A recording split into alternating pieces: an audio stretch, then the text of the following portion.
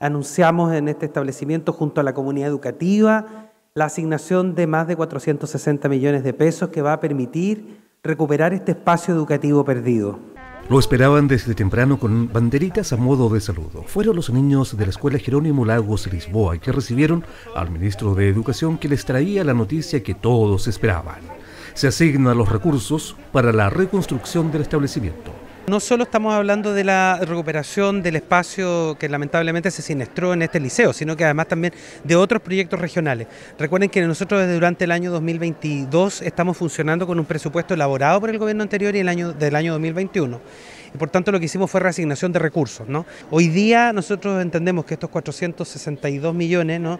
van a permitir hacer la recuperación de este establecimiento, de, este, de esta parte ¿no es cierto? del establecimiento eh, en el marco de un fondo de emergencia, que es una cosa bien importante, ¿no? que es distinto ¿no es cierto? al uso tradicional de los otros fondos asociados a infraestructura.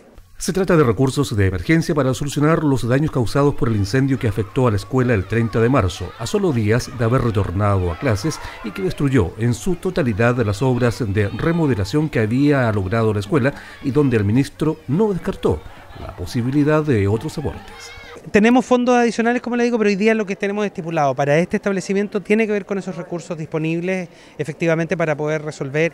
Ahí probablemente también podemos mirar en el futuro, ¿no? Se ha comprometido hoy día la construcción de una sala de profesores, probablemente eso implique también un recurso adicional. En este minuto estamos ya, tenemos la resolución y ahora faltan todas eh, las, las, cuestiones de carácter más bien jurídico para hacer la, la cuando se llama la transferencia de estos recursos inicialmente. Ya hoy hay que afinar ¿no cierto? el proyecto, ver de qué manera ¿no cierto? La, la, obra más arquitectónica para luego proceder ¿no cierto?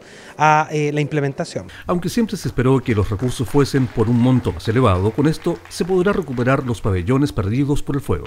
Solamente estructurar algunas situaciones jurídicas para poder ya transferir los fondos y empezar ya a licitar y reconstruir esta escuela.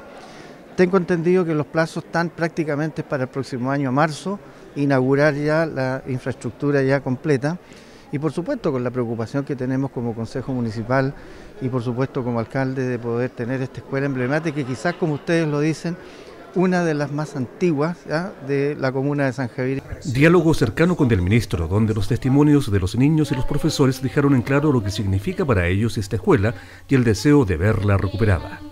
Estamos contentas, felices por la noticia, esperamos que esto comience luego, que se hagan las reparaciones luego, que se levante este colegio, porque los niños lo esperan con ansia, nosotros como apoderados, bueno, mi hijo ya se va. Y esperamos de que ya en marzo cuando vuelvan los niños retornen y lleguen a su colegio ya construido y arreglado. Año difícil para la comunidad escolar de la Escuela Jerónimo Lagos Lisboa, pero que tras este anuncio realizado por el ministro de Educación, hacen ver el 2023 con optimismo y es para nosotros una gran noticia porque en este momento nos encontramos un poco hacinados, ¿no es cierto?